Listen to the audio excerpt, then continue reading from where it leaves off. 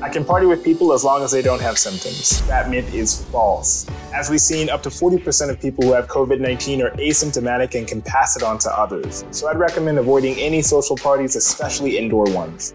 If you want to try to socialize but reduce your risk, I'd recommend meeting outside in small groups, continuing to wear a mask, and socially distancing from others if you can. Then together, we can keep COVID 19 out of school. For ways to keep your community safe, go to backtoschooltogether.com. When you adopt a shelter pet, you discover their unique mix of all kinds of traits. Where'd Wiley go? Where's Wiley? Ah, there she is. Paw? Do you remember being an ancient wolf? Do you ever feel the call of the wild? You're a renegade cop, and I'm a con woman with nothing to prove. But together, we could really solve this murder. They're a little bit of a lot of things.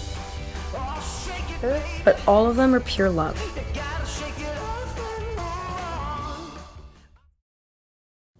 Hello, I am Paul J. Salvino, and I am humbled to serve as the superintendent of the Massillon City Schools. On Tuesday, November 3rd, the Massillon City Schools will have a levy renewal on the ballot. This no new taxes renewal will be issue 32. Issue 32 was originally passed in 1996, and the dedicated residents of the Massillon City Schools have been extremely supportive every five years during elections since then. Issue 32 is a five year renewal that equals no new taxes. Issue 32 will generate $2 million per year for our schools. With the recent loss of school funding due to the COVID 19 pandemic, this renewal will be critical for our organization. On behalf of the Massillon City Schools, I ask you to exercise your civic duty on Election Day, Tuesday, November 3rd, 2020. Thank you, and go Tigers!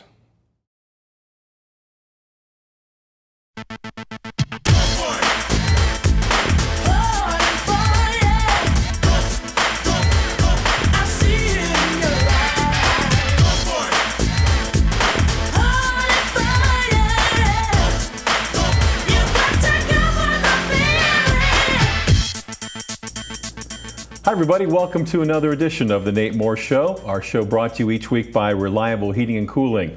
I'm your host, Dave Sheets, and with me is the head coach of the Massillon Tigers, Nate Moore. Nate, welcome to the show. Thanks for having me on. Coach didn't have a show last week, gave you the week off because the team earned a bye in the first round of the OHSAA playoffs. Uh, Want to go back to the McKinley win? Very impressive, 35 to seven. Now a week and a half ago, probably seems like a long time, but uh, I know you must have felt a lot of different emotions following that win. Can you talk about that?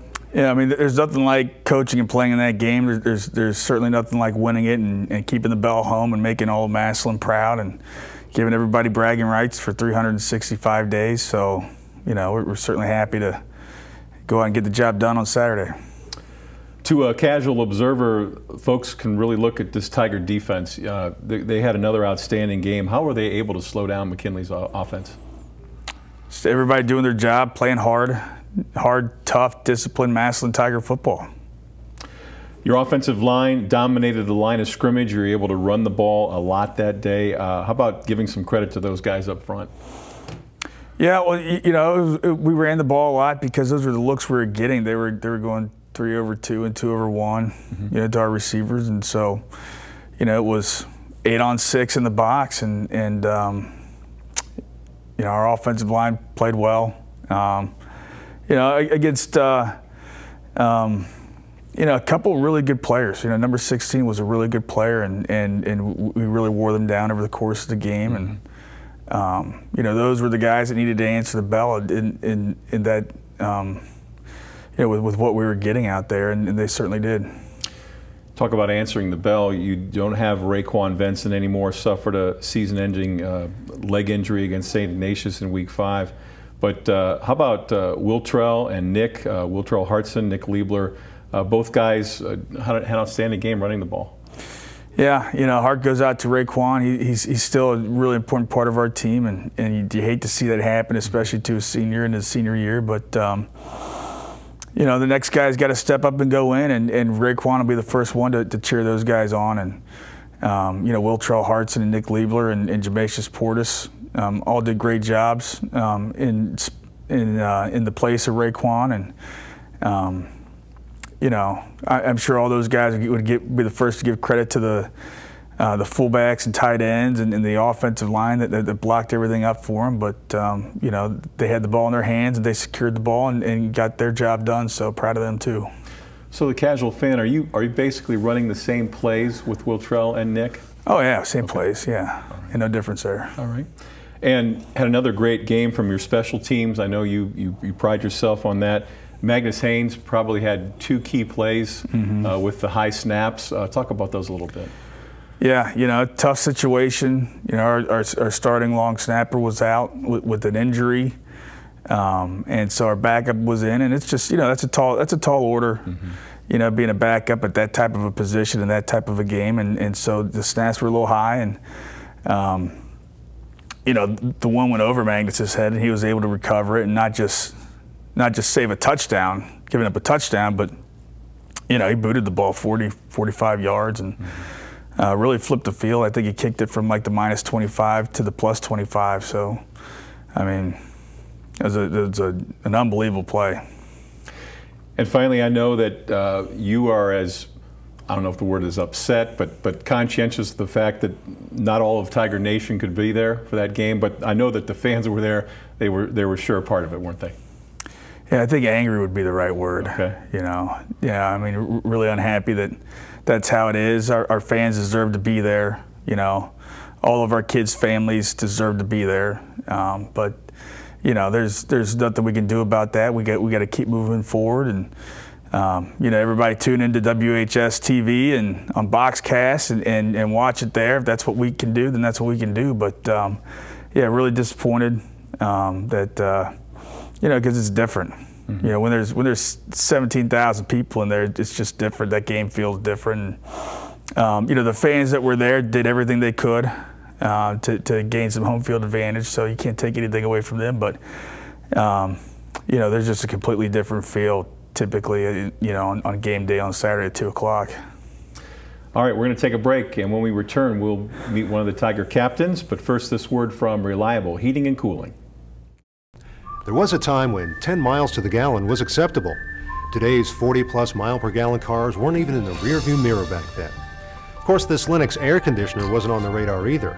It's solar ready, the quietest, most energy efficient air conditioner you can own. It's time to live in the now. Call Reliable Heating and Cooling for the most advanced technology in heating and air conditioning. When you're ready to live in the now, call Reliable Heating and Cooling. Lennox, innovation never felt so good.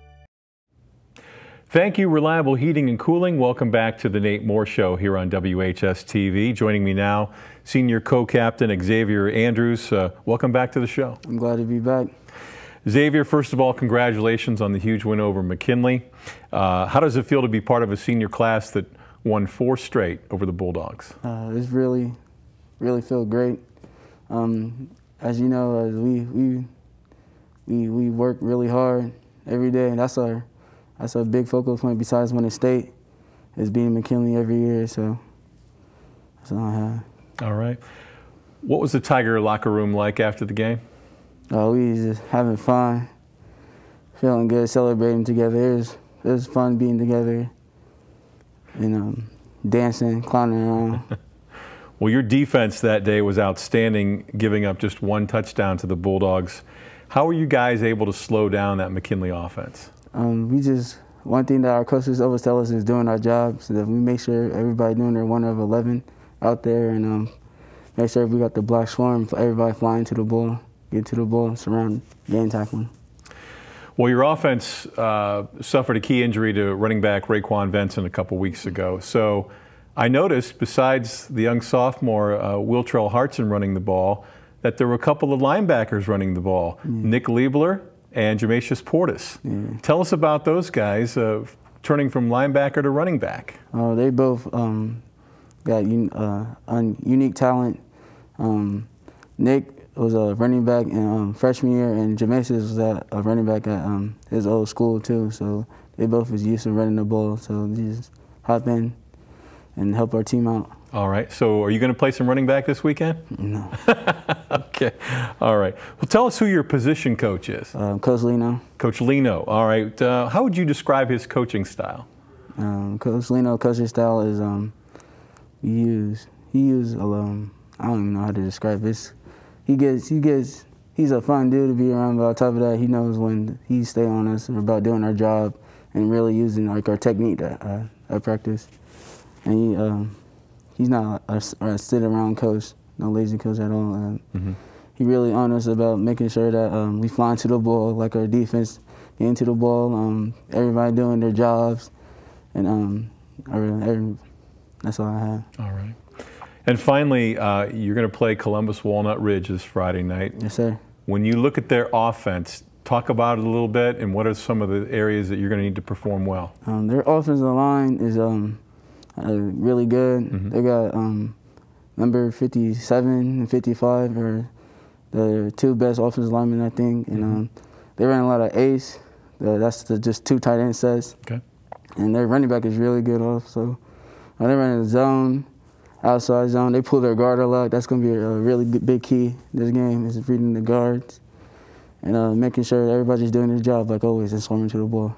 So it sounds to me like they have a heavy, heavy emphasis on running the ball? Yes, sir. All right. Well, best of luck. Thank you. Appreciate it. Thanks for joining us. The Xavier uh, Andrews joining us on the program this week here on the Nate Moore Show. Stick around. Coach Moore will rejoin us after this timeout. There was a time when 10 miles to the gallon was acceptable. Today's 40 plus mile per gallon cars weren't even in the rearview mirror back then. Of course, this Lennox air conditioner wasn't on the radar either. It's solar ready, the quietest, most energy efficient air conditioner you can own. It's time to live in the now. Call Reliable Heating and Cooling for the most advanced technology in heating and air conditioning. When you're ready to live in the now, call Reliable Heating and Cooling. Lennox, air is life. Make it perfect. And we welcome you back to the Nate Moore Show. Thanks to our sponsor, Reliable Heating and Cooling of Massillon.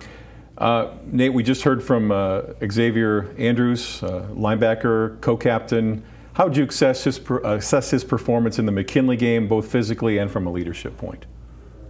I mean, X, X had a really nice game. He's, he's done well for us all year. Um, he's an excellent captain. It was he was a guy that you could ID really early in the offseason as a captain. I was happy that, that the kids felt the same way uh, with how they voted. Um, checks every box. Um, you know, great in the classroom, great in the hallways, great in the community. Um, you know, high character. Um, you know, nobody works harder. Weight room guy. Um, and, and, then and, and, and, he's, and he's a great player, you know, so he performs well on the field. And, and then you add to that a guy that's not afraid to hold his teammates accountable, a guy that will be vocal. I mean, find me find me a better captain. You know, you won't find one. So, just really really proud of Xavier. So your team had a bye week. How did that change what you did practice wise, approach wise? Uh, what were some differences? Well, you know, the biggest difference, you know, which is obvious, is we're not prepping for a game, mm-hmm. right? So, nothing we did was was in preparation for any specific team. Um, so, you know, we spent some time uh, practicing on things that, that, that, we've identified, the things that we need to get better at. And, um, you know, so that was kind of our approach to the week. We gave the kids off Monday. You know, mm-hmm. they deserved it after the, the Saturday ball game, and mm-hmm. uh, then practice Tuesday through Friday. Um, so and, and, had a a freshman game Friday night, and then a, a JV game Saturday. So you know, it felt felt pretty normal, really overall. Okay. We have not spent any time talking about the younger teams, the JV and freshman team. How about an update uh, as to their status and, and, what they're doing moving forward? Um, let's see, the freshman team is, uh, geez, I want to say five and two. I, I, know they have two losses. They picked up a loss this past week at, at Kirtland. Mm-hmm. Um, they, they, lost ten to seven in, in, a in a in a tough ball game. It's you know you go up there and you play like a double tight end, double wing offense with a lot of misdirection. When mm-hmm. you know you're not, you don't really have a chance to prep for that or review film at that level. So that was kind of a tough ass, but mm-hmm. um, lost on a on a late, uh, just a fade route actually, hmm.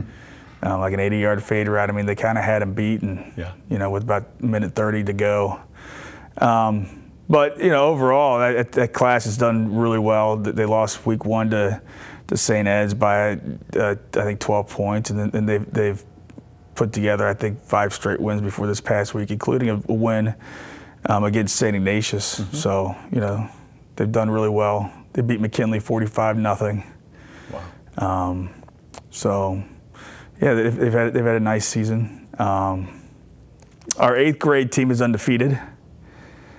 They're actually this is their McKinley week. They're playing over at Tom Benson uh, tomorrow. I don't know what time this is this is airing, but Right. tomorrow, Wednesday, five o'clock. And then our JV, I want to say our JV is four and three. Um, with a couple B games, I, I think we played two B games and we, we pushed them. We went one on one with our B games, um, but uh, maybe five and two. I'm not sure.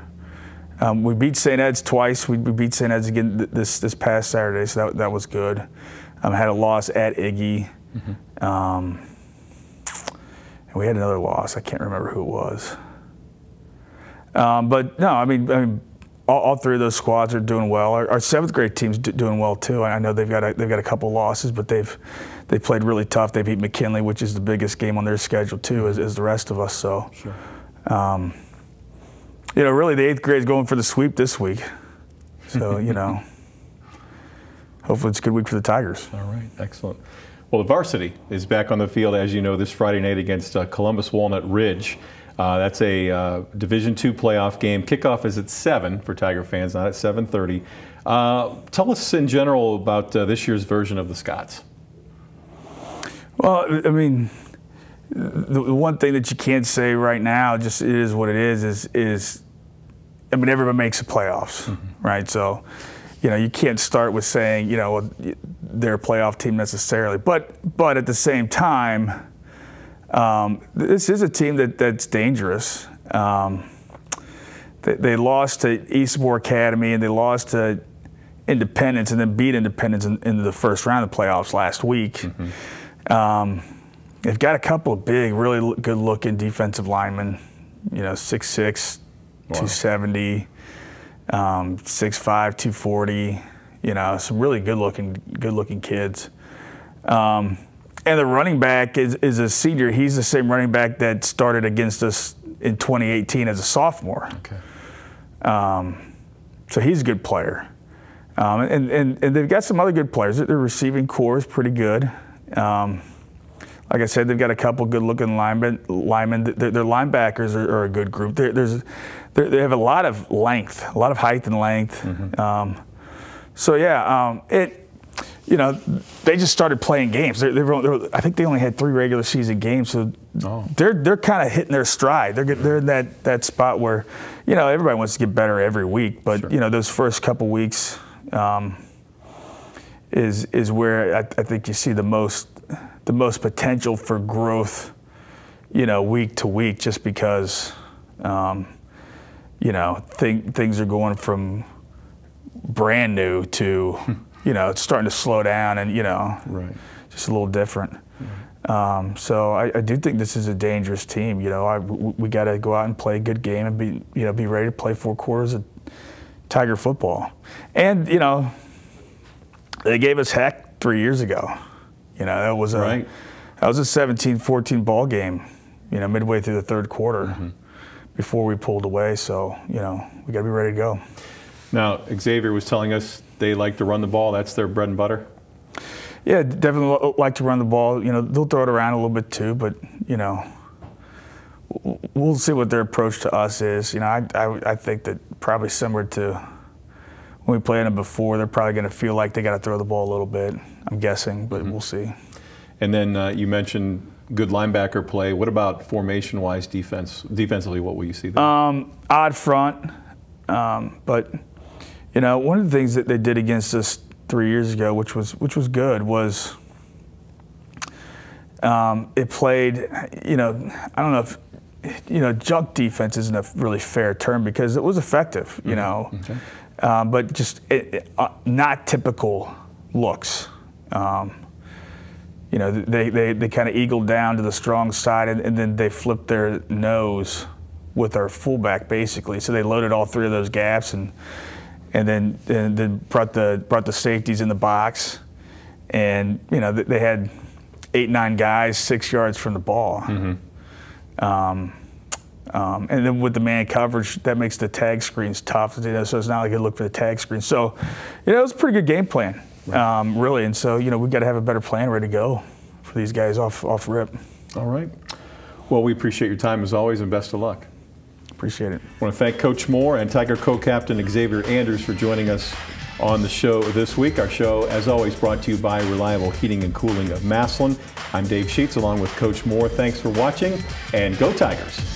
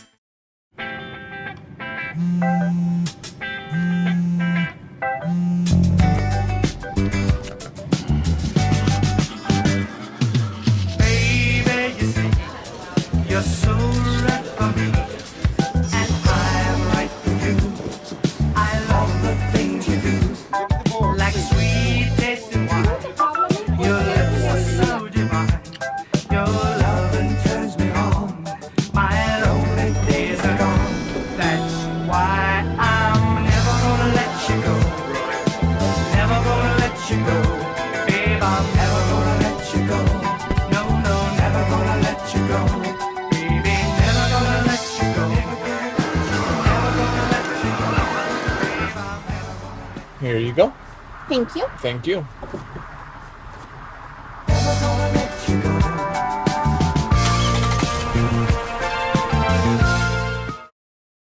Massillon City Schools is proud to have one of the top career technical education programs in the state of Ohio, recently receiving a number one ranking of the 93 districts in the area of achievement. Our Career Technical Education Department offers 14 pathways preparing students for college and careers. All students have the opportunity to participate and compete in their career technical student organization, as well as obtain valuable experience in the field while earning aligned industry credentials and or college credit in high school.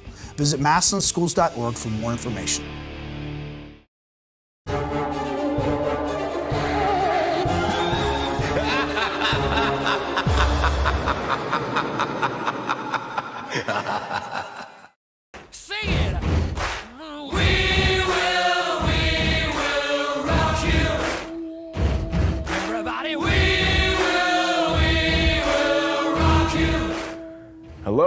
And welcome to Swing, featuring Tiger Swing Band director Jason Neel.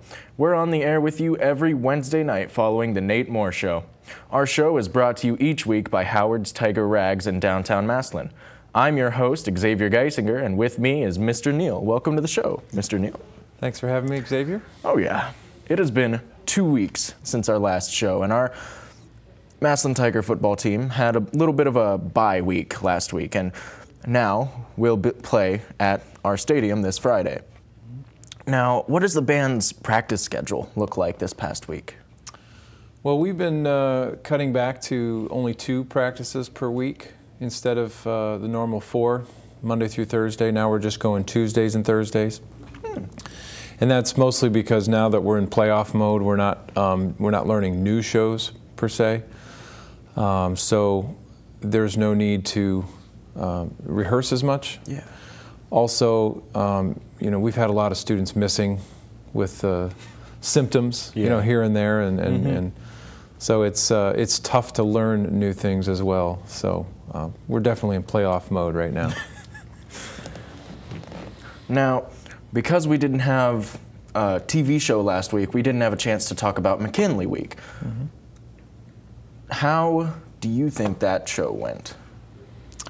Um, I thought that show went well. I thought that whole week went well. Uh, you know, we got to go around the day before the game with our squad leaders and seniors all over the town, and uh, we, we did a little bit more marching outside than we typically would, but um, you know, wanted to be safer that way. But I thought we had a just a wonderful Friday before the game, and then the, the day of the game was, you know, everything went really well according to plan. Uh, we had all our traditional stuff that we got to do before the game, and I think that meant a lot to our um, to our band and specifically to our seniors. Now, your senior members were recognized at the McKinley game prior to the start. Uh, is, isn't that always an emotional time for you and your seniors? Uh, absolutely, it is. Um, I would say that, you know, it's it's the closure of something. You know, it's the end of the regular season for their last year of, of the marching band, and, and even though it's early on in the school year and there's plenty more uh, of the year still to go, I think they, they really see that as, as something ending. Um, so yeah, it's emotional time. Um, it, seems weird saying goodbye to people in October, but uh, it's kind of it's kind of is that way. So. Um, it's been a special senior class. Again, I'm, I'm really proud of them, and uh, we are going to miss them next year when you know when when a new season comes around. But okay. we're happy to have a few more weeks to to be in the marching mode together. nice. Now, tell us how the actual halftime show at McKinley went. We did our senior show. Yeah. Um, greatest show Sing Sing Sing 42nd Street songs that they picked that they enjoyed the most over their last you know four years as band members. And I thought the students actually did a great job. I thought it sounded well. I thought the routines went very well according to plan. Um, the timing of the show worked well. Uh, you know it's tough to tell with a, a, smaller crowd how you don't get that huge reaction but I, I think the crowd enjoyed it. Uh, the crowd that was there obviously it, was just exciting to be Saturday afternoon, great weather. Uh, I think the whole thing went very well, and, and it was a great day. I think we all had a good time, and uh, I thought the kids did very well. Nice. We'll have more with you with Mr. Neel here on Swing after our message from Howard's Tiger Rags. Howard's Tiger Rags in downtown Massillon has the best selection of tiger apparel in the area.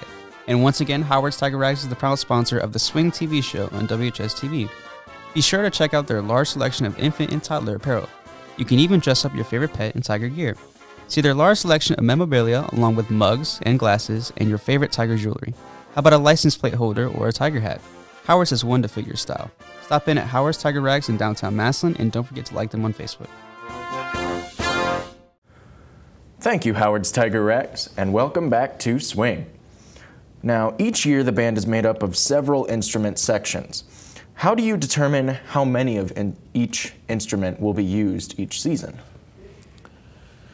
Well, I'd say the only section that we limit the number of players on an instrument would be our percussion section. Um, you, you don't want to have an entire section of snare drums. You need, you need the four different instruments. You need snare drums, yeah. bass drums, tenor drums, and cymbals. And so those students actually have to try out they tell us which one they would you know, be their first choice, second choice, third choice, fourth choice, and so on. And then we audition those instruments. Um, every other instrument, you know, once you're in the band, um, we'll take as many that are able to do it. So some years we'll have uh, six sousaphones out there. This year we have four sousaphones. We, you know, we only had four students who signed up. We had some other kids who went online who uh, you know, chose the e-learning path this year. So um, if, if a student is willing to march those other instruments, we'll let them in, we'll find an instrument for them, we'll find a place for them. Ideally, you would want them to have a balance. You know, you'd want a certain number. We, you know, we'd love eight sousaphones out there.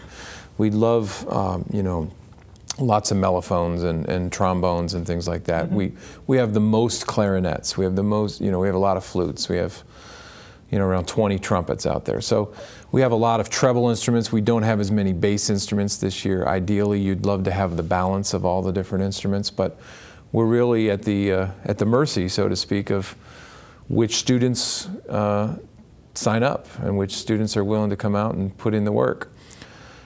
You know, part of what we do in the middle school is, is try to get that balance to happen by the time they get to the eighth grade and they're, they're ready to continue on. So it's not uncommon for us to switch instruments um, in the middle school. We, we need more of this instrument, so let's move this kid from here to here. And, and so there's, uh, there's a lot of that, go, that goes on in the middle school. Not as much when you get to the high school. They're kind of more locked into what instrument they're playing at that point.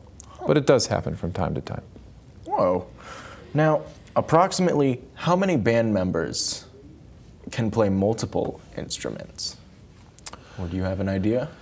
that's a, that's a great question. Um, I don't know like an exact number, but um, I'd say you know if I had to guess, I'd say 10 to 20 percent probably could play more than one instrument. I, I, can, I could name names for you. For example, my daughter's a junior. She plays clarinet in the, in the wind orchestra, in the marching band. She also plays tenor sax in the jazz orchestra. So oh. we have a number of uh, woodwind students who double instruments like that. Um, the percussion section is a perfect example. They're all playing multiple instruments. They have to be able to to be a percussionist, to play the mallet instruments, to play the timpani, to play the snare drum, to play all these different things. So um, maybe that number is higher if you count all the percussionists who do that, but there are some who are, are very uh, timid, intimidated maybe by learning a new instrument, but uh, I know I was when I was in high school. I was intimidated to learn other instruments. Then I got to college, I majored in music. I, I started to have to learn all these other instruments, and then I realized it wasn't as um, um, daunting as I thought it was. So, because there's certain things about music that transfer from this instrument to this instrument. So once you know music, learning a second instrument is not as difficult as learning your first. Huh. Now, on that topic, have you ever had to have a student play more than one instrument during a band show? Um, you know, I'm thinking about that and, and maybe a percussion type thing. I know one year we did a, um, a rhythm show where we had everybody put down their, their primary instrument and pick up a percussion instrument and play some rhythm. So that might be a, an example of that, but I don't think that happens very much on a marching field usually the instrument you're carrying is the one you're carrying for the whole show. Um, that will tend to happen more in the jazz setting. You know, you'll see woodwinds double, you'll see trumpets pick up flugelhorns, you'll see um, rhythm section instruments moving around throughout the performance. It happens uh, in, in concert season a little bit more than marching season, but so I hope that answers your question. Probably not so much in a band show, but in other musical settings, yes. Yeah. Alrighty. Now, could you give us a sneak peek to the halftime show that you're going to be doing when our Tigers take on Columbus Walnut Ridge? This week we are bringing back our second show, which is our heavy metal rock show. Um, we did that week three, and now here it is week eight, and uh, we're gonna we're gonna bring that show back. And again, those songs were um, Smoke on the Water, Enter Sandman, and Rock and Roll All Night. So we had a lot of fun with that show doing it before. And uh, typically in the playoffs, we would bring back maybe a song from this show, show a song from this show, and kind of mix yeah. and match. But we're kind of bringing back some themes this year. We think that's going to be fun to, to repeat some shows. boy, that is my favorite show that you guys have done Glad so far. Now, that's going to do it for this edition of Swing. Swing is brought to you every week by Howard's Tiger Rags in downtown Massillon. I'm your host, again, Xavier Geisinger. Thank you for coming on, Mr. Neel, and thank you for watching. And as always, go Tigers.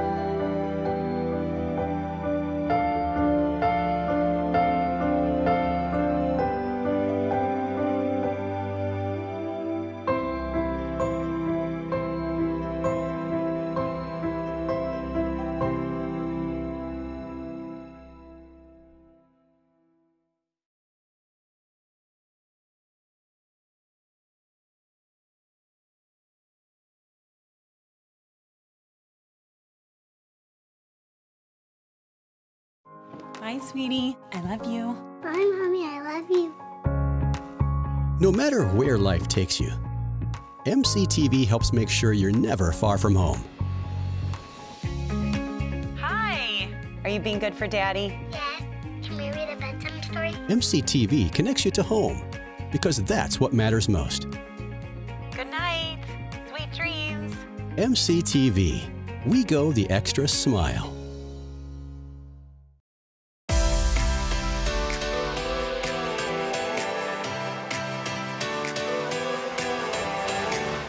I joined cosmetology because I've always loved coloring hair and different colors and makeup. I joined media because I've always had a passion for all things related to media. I've always had a passion for teaching other people, especially topics that I'm interested in. I want to pursue a career as an orthopedic surgeon. And so when I saw that we had this class, I immediately circled it on my schedule and was excited to join.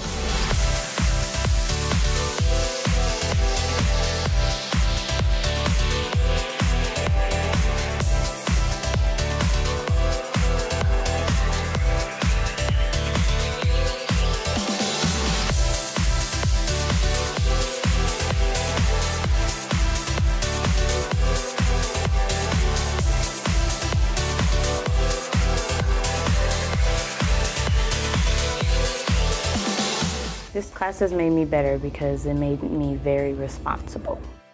I like the relationships that I've developed in this class. The girls that are in here with me, I've really grown close with all of them. I joined this class because I enjoy helping others and I want to make a difference. Even like just making something and having people go, wow, that's really interesting. It means the world. It was just a really good environment to be in. It was real hands-on and it was just something I really wanted to do.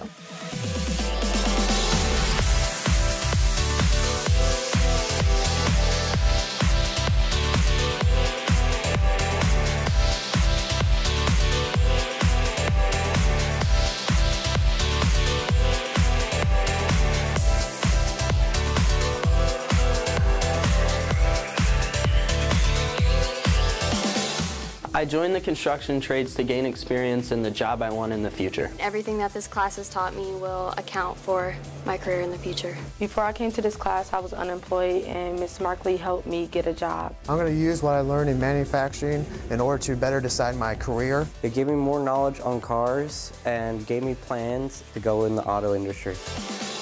Massillon CTE works for me. Massillon CTE works for me. Massillon CTE works for me. Massillon CTE works for me. Works for me. For me. For me. For me. Massillon CTE works for me.